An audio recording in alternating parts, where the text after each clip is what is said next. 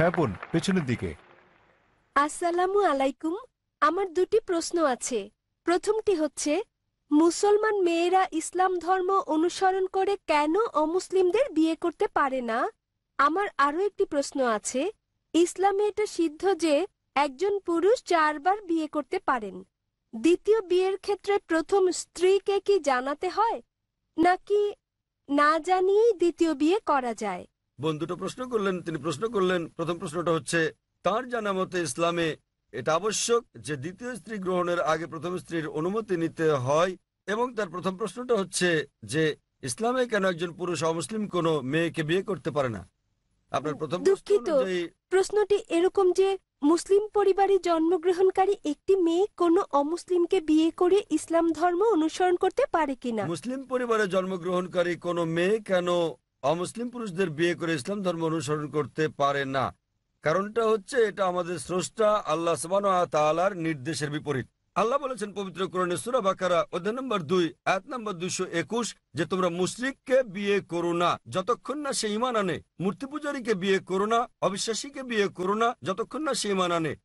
এমনকি যারা ইমান এনেছে, তারা যদি কৃতদাস হয়, যারা ইমান আনেনি, তাদের চেয়ে ওই ইমানদার অনেক অনেক ভালো। যদিও ওই মুশরিক মানুষ, ওই অমুসলিম তোমাদের মুগ্ধ করে, তবুও মানে এমনকি যদি সে বিশ্বের সেরা সুন্দর পুরুষ হয়, সবচেয়ে ধনী ব্যক্তি হয়, আর সে যদি অমুসলিম হয়, তার চেয়ে একজন মুসলিম পুরুষ, সে কালো, কুৎসিত, কৃতদাস হলেও অনেক অনেক বেশি ভালো।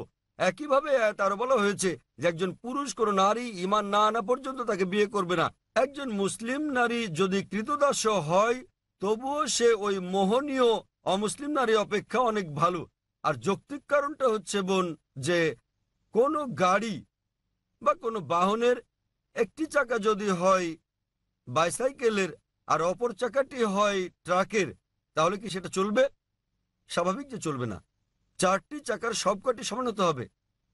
এবং আপনি আরও জানতে চেয়েছেন, অমুসলিমকে বিয়ে করে মুসলিম মেয়ে কি ভালো মুসলিম হতে পারবে? কারণটা হচ্ছে যে ইসলাম ধর্মে আমরা চাই আমাদের স্বামী কিংবা স্ত্রী আমাদের জীবন সঙ্গীরা তারাও জান্নাতে যাক। এখন স্ত্রী জান্নাতে যাওয়ার পথ খুঁজে পেল, স্বর্গে যাওয়ার পথ খুঁজে পেল এবং সে ইসলাম ধর্ম অনুসরণ করে জান্নাত পেল।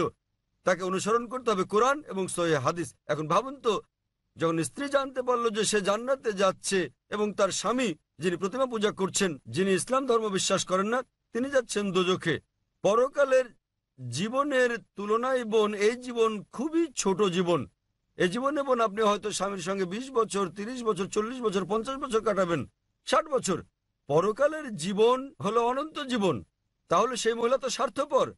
একজন ভালো মুসলিম বা ভালো মুসলিমা, একজন ভালো মুসলমান পুরুষ কিংবা নারী চাইবেন তার জীবন সঙ্গী, তার স্বামী কিংবা স্ত্রীও জান্নাতে যাক। সুতরাং এটাই কারণ, এজন্যই স্বামী এবং স্ত্রী দুজনেরই মুসলমান হওয়া জরুরি। আপনার দ্বিতীয় প্রশ্নের ব্যাপারে বলি, মুসলিম পুরুষের দ্বিতীয় স্ত্রী গ্রহণের আগে প্রথম স্ত্রীর অনুমতি নেয়ার বাধ্যবাধকতা আছে কি না? নিকানামায় উল্লেখ না থাকলে এটা আবশ্যকীয় নয়। যদি নিকানামায় উল্লেখ থাকে, বিয়ের চুক্তিতে উল্লেখ থাকে, যদি স্ত্রী বলে থাকেন যে আমি জীবিত থাকা পর্যন্ত তুমি দ্বিতীয় স্ত্রী গ্রহণ করবে না, তখন এটা আবশ্যকীয়। যদি নিকানামায় না থাকে এটা, তাহলে আবশ্যকীয় নয়। তবে অন্তত তাকে অবহিত করতে হবে। কেন? দ্বিতীয় স্ত্রী গ্রহণের নিয়মের এটা একটা অংশ বলতে পারেন। কোরআনে বলা হয়েছে অধ্যায় চার, আয়াত নম্বর তিন, তোমাদের পছন্দের নারীদের বিয়ে করো দুই, তিন বা চারজনকে তবে সুবিচার করতে না পারলে একজনকে। তাহলে একাধিক বিয়ের ক্ষেত্রে অন্যতম একটা দিক হচ্ছে স্ত্রীদের মধ্যে সুবিচার করতে হবে। তো যদি প্রথম স্ত্রীকে এটা না জানান, তাদের মধ্যে সুবিচার করবেন কীভাবে? তখন হয়তো আপনি মিথ্যে বলবেন, অফিসের কাছে যাচ্ছেন, বোম্বের বাইরে যাচ্ছেন, ইত্যাদি বলতে পারেন। কিন্তু যদি আপনি দ্বিতীয় বিয়ে করেন, প্রথম স্ত্রীর অনুমতি নেওয়া সেখানে আবশ্যকীয় না হলেও উভয় স্ত্রীর মধ্যে সমান আচরণের কথা ভেবে আপনাকে অন্তত বিষয়টা থেকে জানাতে হবে। আশা করি উত্তরটা পেয়েছেন বল। ধন্যবাদ।